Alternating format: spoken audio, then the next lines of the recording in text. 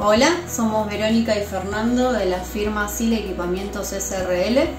Somos una empresa dedicada a la fabricación de muebles.